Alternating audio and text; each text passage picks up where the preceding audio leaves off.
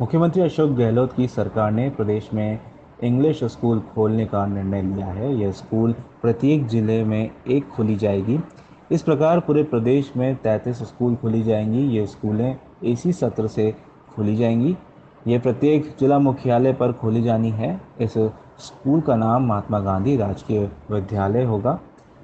यह स्कूल कक्षा एक से बारहवीं तक होगी। इसके लिए माध्यमिक शिक्षा राजस्थान के उप निदेशक ने जिला शिक्षा अधिकारी को पत्र लिखकर तीन जून तक प्रस्ताव भेजने के लिए कहा गया है।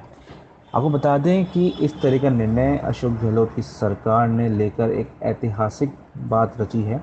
साफ़ तौर पर देखा जा रहा है कि गहलोत सरकार जब से आई है, तब से प्रत्येक दिन लोगों की भलाई के लिए, प्रदेश की भलाई के लिए कुछ ना कुछ अच्छे कार्य करती जा रही है। इसी क्रम में गहलोत सरकार ने एक बड़ा निर्णय लेते हुए सभी ज़िलों में इंग्लिश स्कूल खोलने का निर्णय लिया है।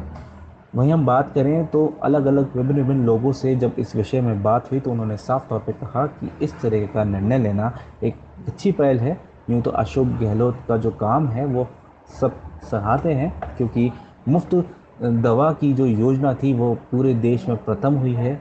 हाल ही में कुछ दिन में पता चला है कि मुफ़्त दवा की योजना पूरे देश में नंबर एक पर राजस्थान रहा है। उसकी सर्विसेज़ को लेकर, हर चीज़ को लेकर।